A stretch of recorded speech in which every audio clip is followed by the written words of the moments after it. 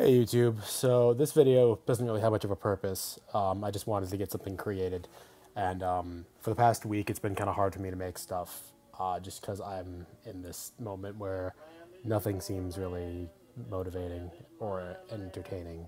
Uh, I'm finally doing laundry, as you can tell from that massive pile of stuff behind me. I kind of let that pile up. I haven't done dishes. I've done some writing, and over the past week I've gotten 2,000 words written, which is good. But um, I was watching Jake Roper, uh, one of my favorite creators. I aspire to be like him as a human being, and he was talking a lot about. He's been going through a lot of stuff with cancer, and he's been talking about how he has mo- like lapses in motivation, and he gets really, really excited and stuff.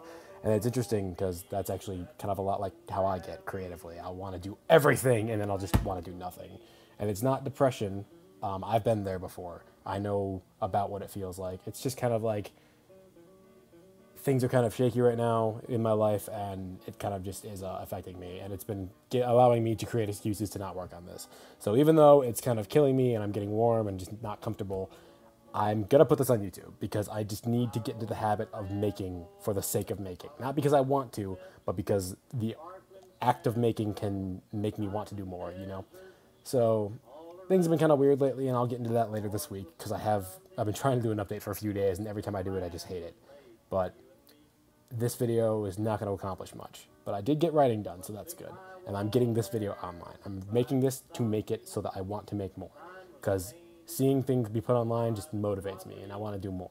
So, yeah.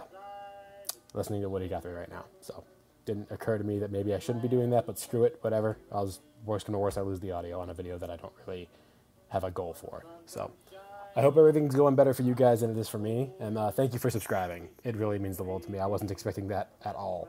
And I know I've been talking kind of quickly, but that's because I'm just trying to get this done so I have no excuse and no time to think about double, you know, think twice about it and just be like, yeah, it's going to suck. Don't put it online. You didn't do anything with it. Well, the goal was to get it online because I don't like being in a creative slump. And doing for the sake of doing is a good way for me to shake myself up. So have a good one. And I know things are kind of weird for me, but I'll get better.